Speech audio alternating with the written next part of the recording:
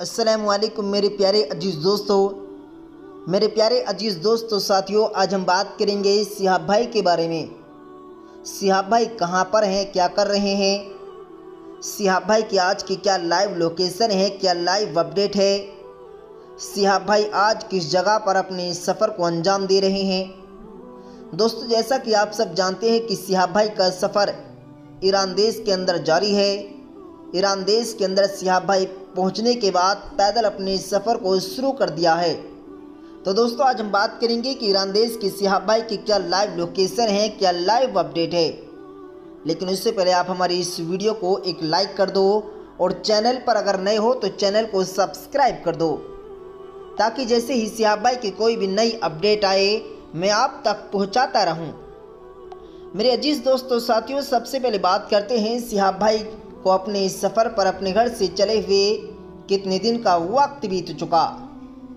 मैं आपको बता दूँ, आज मोहम्मद सिहाब भाई को अपने इस सफ़र पर अपने घर से चले हुए पूरे 278 दिन का वक्त बीत चुका है।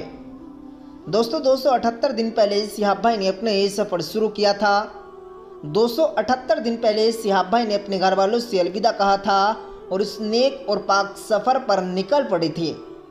ये सोच करके कि आने वाले 2023 के हज को मैं अदा करूँगा। मेरे अज़ीज़ दोस्तों साथियों, जैसा कि आप सब जानते हैं कि सिहाब भाई ने भारत देश के अंदर कितनी मुश्किलों और कितनी कठिनाइयों के साथ अपने इस सफ़र को अंजाम दिया।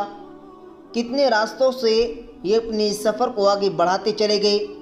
कहाँ कहाँ इन्होंने अपने इस सफ़र पर आराम किया, मैंने आपको पूरी कुछ लाइव लोकेशन बताई थी। दोस्तों, जैसा कि मैंने आपको ये भी बताया था कि 6 फरवरी को सिहाब भाई ने भारत देश को अलविदा कहने के बाद पाकिस्तान में एंट्री मारी थी। और पाकिस्तान में दो या तीन दिन सफ़र तय करने के बाद ये फ़्लाइट के ज़रिए ईरान पहुँच गए थे। दोस्तों, ईरान पहुँचने के बाद सिहाब भाई ने फिर से अपने सफ़र को पैदल तय करना शुरू कर दिया था। तो दोस्तों, मैं आपको आज की लाइव लोकेशन जो ईरान देश की है, वो लेकर के आ चुका हूँ। मेरे अज़ीज़ दोस्तों साथियों, सबसे पहले बात करते हैं कि सियाब भाई ने ईरान देश के अंदर अब तक कितना किलोमीटर सफ़र तय कर दिया।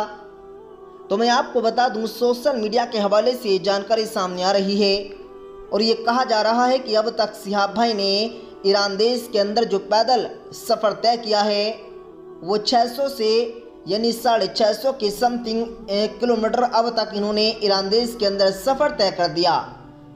मेरे अज़ीज़ दोस्तों, साथियों सिहाब भाई लगातार अकेले अपनी इस मंजिल की तरफ़ बढ़ते चले जा रहे हैं। जैसा कि भारत देश के अंदर सिहाब भाई के साथ तमाम तादाद में लोग सड़कों पर दिखाई देते थे। ऐसा ईरान के देश के अंदर कुछ भी नज़र नहीं आ रहा। ईरान देश के अंदर सिहाब भाई अकेले अपने इस सफ़र को रूट ब रूट तय करते चले जा रहे हैं।